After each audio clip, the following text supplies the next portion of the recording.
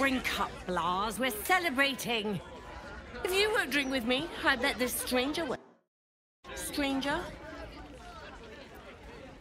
I'm Clovia Throaks. Pleased to hmm. meet you. Our son Gaspar has finally found himself a proper job. Aye, security at the Steel Watch Foundry. But I still wish he'd taken up the family business. Oh, Now, I see. Lars, you know Gaspar never had the patience for all the stitching a tailor has to do. Hey, Sewing rabbit skin cloaks. Well, that's all right for some, I guess, but not for our Gaspar. hey. No, our Gaspar preferred hanging around the guild hall. I was afraid he was going to end up as a guild bone breaker.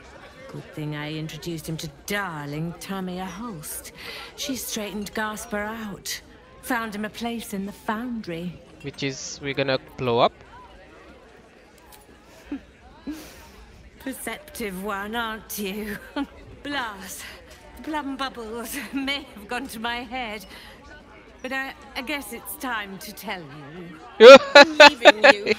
I'm starting a new life with Tamia. I'm going to sell the business.